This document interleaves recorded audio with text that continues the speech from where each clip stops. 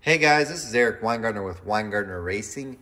Today's video is a product review video and it's over this Trick Flow Super 23 230cc CNC ported head. Now obviously it's not brand new, it's been ran, but I cleaned it up and it's in pretty good shape, so it shouldn't have, should, what it flows here should be as close to, pretty close to what it should be due right out of the box. Like it should be the same, be quite honest with you. Same valves, everything else. So you get to see the flow numbers on this and I'm also going to compare it to other ones because hopefully I put these videos out in order because the video that should have came out before this one would be a Brodix Track 1 233 CNC ported head versus an AFR 235 CNC ported head. This would be in the same volume range as those heads. This one's supposed to be 230 cc's and it's full CNC ported as well. And we get to compare them. Um, I'm actually super pumped up about this because I do follow some forums and someone had asked about these heads. And even though they've been out for many years, they have never come across my flow bench. So I have been very curious to see what they do because they make an outstanding, which I think is actually outlandish and mostly unbelievable claim that these things flow 270 CFM at 4 tenths of an inch valve lift. Yeah, no, they don't. I, I haven't flowed them yet, but I'll be shocked if they do. I will happily eat my words because they'd be the first 23 degree head that's not a raised runner one um, or huge that's flowed that amount of air, especially being that a standard valve spacing and a 208 intake valve. But we'll talk about all the specs and all that in this video, so let's go ahead and get started. All right, first off, this is a standard valve spacing head, which means it's not moved over. So even though this volume could be compared to like the Brodix and the AFR uh, heads, the valve spacing is not. Both Brodix and AFR have moved their valve spacing. So in other words, they moved their intake valve and exhaust valves over to get away from the wall and to make room for bigger intake valve. The TrickFlow did not. This is standard valve spacing. So this is normal work with most, uh, almost every piston that's out there. It's that. It also has the smallest valve of the others. So both Brodix and the AFR had a 2125 valve. This is a measly 208 intake valve. I know you're saying, well, is that the biggest valve you can get in a standard valve spacing head? No, you can put a 210 in here. You can put a 210 and still keep a 1600. You can go bigger than that, so you could in fact do a 2125, but you'd have to shrink the exhaust valve down. So anyway, there's that. These have um, pretty good ch chamber size. I'm not sure, I should have looked up before I started this video what size they are. I believe they're 68 cc's, which would make them um, the same size as Brodix, but smaller than AFRs. As far as the CNC work, I actually do like it. So maybe this, if they do hit 270, this might be why. They have a good transition. So this is the seat angle right here. This is your called your top cut. If you look how it goes into the chamber, that's perfect. This is a very, very good um, job of taking the top cup and sweeping it out into the chamber. That's beautiful. Now, it does have this ledge on the exhaust side. Um, that's going to hurt flow a little bit, but not as bad as you would think because the air is going to kind of jump it this way. Um, it's got a radius exhaust valve job over here. It has a five angle valve job on the intake. You can see a better job on probably this port if the camera will focus. Yep. And anyway, beautiful work there on the CNC as far as the chamber wise. This transition will be terrific, which will really should help it slow the flow. So maybe it will, but I, I doubt it, but maybe, okay. Um, the one thing is that usually TrickFlow is really good with their CNC programs as far as getting the transitions correct, but not on this one. Let me show you. You can see in this port, you see that line there, and you see the other line there. That's where the two tool paths have met. So in other words, there's a, it starts out porting this way, and it's porting this way, and then it shifts over in the machine and starts porting from, say, this side, and starts cutting. But it looks like the tool paths aren't exactly perfect, and you get those two lines there. And now, don't forget, these lines also correspond to the lines on the short side, which is where the air is most sensitive. So that's not a good deal. Let me just take my finger and feel it. Yep, there's definitely a ridge there. It Doesn't look as bad as that one, because after all, the port's turning. So there's not as bad of a ridge, but there's definitely a ridge. That's gonna hurt some of the flow a little bit too. The exhaust looks really good.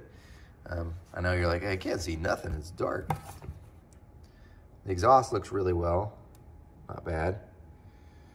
We got a little bit of carbon staining, but not bad. But anyway, um, Let me change around to different views, show you that, and then I can show you what it measures on the inside as far as dimensions. And you can compare those, and then we'll get to the thing you're probably looking for, which is flow numbers.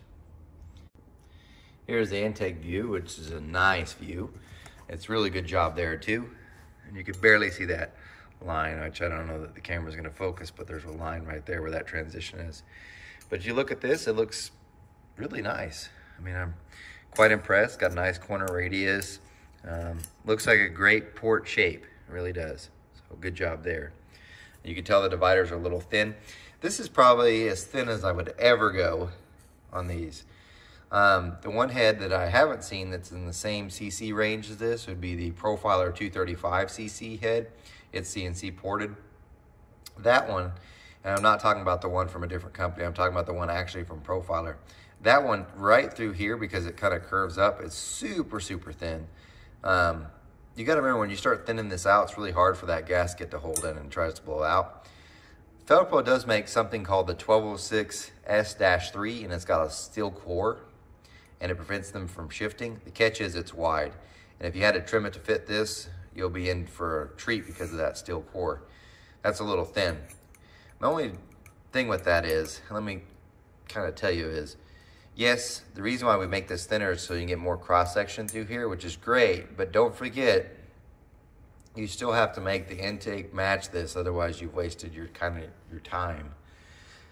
And that's kind of tricky. And like I said, you still have to get the um, manifold to be on there and seal up. So personally, and I understand for doing it, and I do thin mine out, but I don't know, this is really usually thinner than I even I would go. This to me is one of those things where you're doing it just to make it look good on a flow bench because on an engine, um, most people cannot, do not have the ability to port that thin.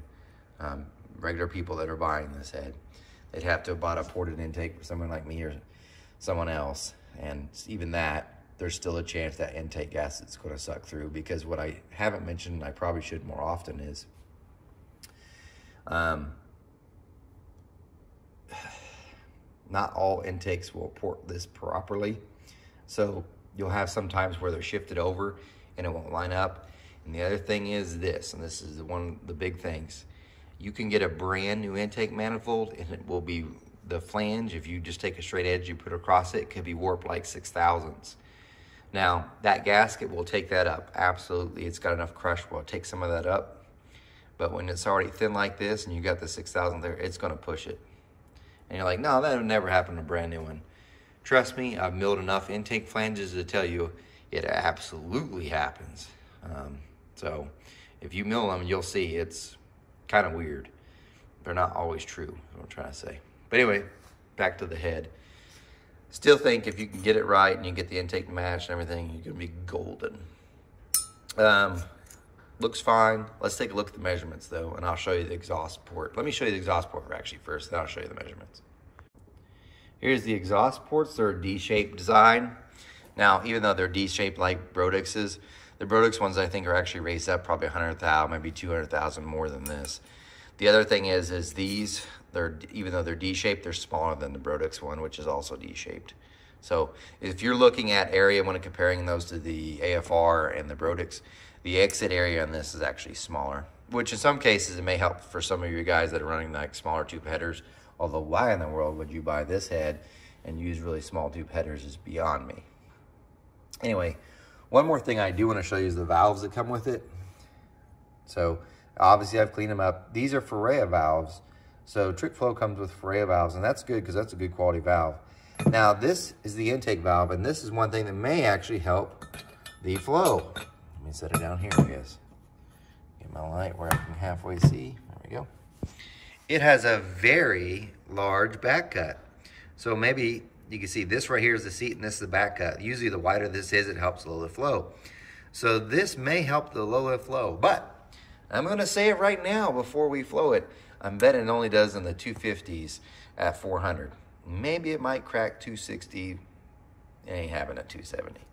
But 250s would be good. 256 by the way is what the AFR did at 4. Or 255, 254, sorry. Here's one thing. This is the exhaust valve. Now, the AFR used a tulip, which really helped its exhaust flow. The Trick Flow uses a nail head and so does uh, Brodix. However, this was kind of odd. I'm gonna show you this. Hopefully the light can get it right. I'm setting it down this way because I want you to see it. The guide was actually hard to, I mean, the valve was actually hard to push out. And you could see wear marks on the valve as if it was too tight in the guide. So, which is kind of a weird thing. There's actually a pretty good scuff mark right there. You see it? It's like on the verge of seizing. Hopefully you can see that right there. Definitely there, there, there. So either one, the valve, it kind of looks like it might have been the valve. Could have been the guide in the same way, but hmm, I'm thinking the valve because it'd be very hard to machine a guide to have this wear part into it. But it looks like the valve itself wasn't machined perfectly true. Like when they were cutting this, that there was some play or something, and it caused these high spots in the valve itself, causing it to kind of stick in the guide. Definitely not ideal. So there is a solution. One, you could either change the valves or you can hone the guide to a bigger size. Now, what's weird is none of the other ones did it. Was just this one, which is kind of odd. So anyway, uh, there's that about the valves. Let's get to the measurements. So here we have how I measure them. The throat, which you can watch other videos to see where I'm measuring, it measured 1.88, which is 90.3%. The bowl was 99%, which is about, by the way, I mean by percent is 2.08 would, is an intake valve size. 100% would be 2.08. So 90.3% of 2.08 is the throat. The bowl was 99%. Then I have cross sections over the short side. So this would be the window or the apex of the short side.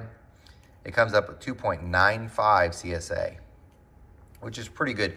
Usually you can use this and you can multi you can take away that uh, decimal and that's about what it flows. So you would say, well, that flows 295, but it fluctuates. The, bit, the better port design will actually flow more than what that CSA kind of tells.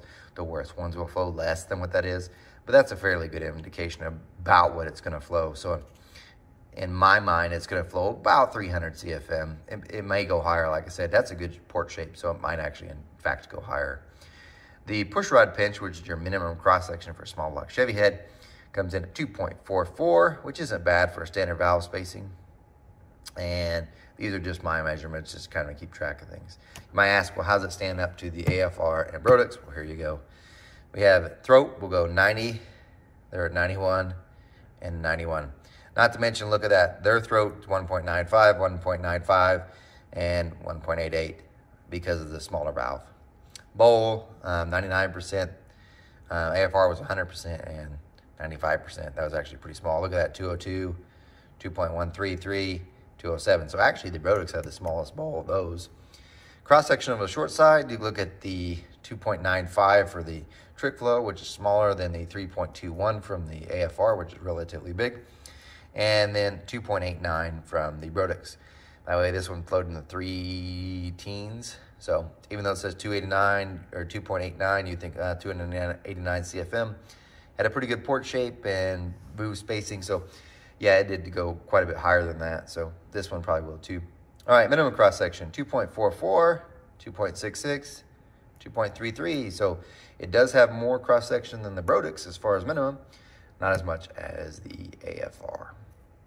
Anyway, let's go ahead and pop it up on the bench. I'm going to float on a 4155 bore because that's what you're probably going to put it on or should put it on. Not to say it wouldn't work on a smaller bore because it with the 208 intake valve, you don't have to worry about it being shrouded, although the chambers are probably going to overhang. Anyway, I'm going to flow it. I don't flow it with an exhaust pipe, and I'm going to share the results with you. By the way, I do want to point this out because this guy did the, did it right. All right, these do not come standard. These are Isky guide plates. And Isky puts this notch like this. It's like a little key. So you got like a, a U groove here and a, think of it like the female and the male in. And what you can do is you can slide these back and forth to line up where you want your rockers to line up with the tip of the valve and your push rod not to hit over there. And then what he did, this is the right way, and it saves you if, in case you ever do it, he then tigged them so they stay locked in place. So if he ever has to remove this, he can put it back. Then you can slide them both and they'll be exactly where it should be. Smart move there. Anyway, these do not come standard. All right, let's get to flowing. I thought I'd show you how I'm actually flowing this head. This is a Brzezinski now. It says the 1207 entry, which it is, but I use modeling clay to kind of close it up. I do have a 1206 entry uh, Brzezinski one as well, but in all fairness, these are actually slightly bigger because they made the wall smaller here. So this gives it the best opportunity. Also, when I flowed the AFR 235 and the Brodix Track 1 233, I use the same entry to keep them all in the level playing field. You have the 4155 bore in there. There is a uh, gasket in between here, as you can see. And I use the same spark plug. So I'm gonna, this is actually a 400 valve lift. So I've already flowed it, but this is a claim 270, but I want you to see this. I've already flowed it once, so I backed it back up to here. It's good. Um, it's not 270, but it's good. So let me go ahead and kick this on and show you.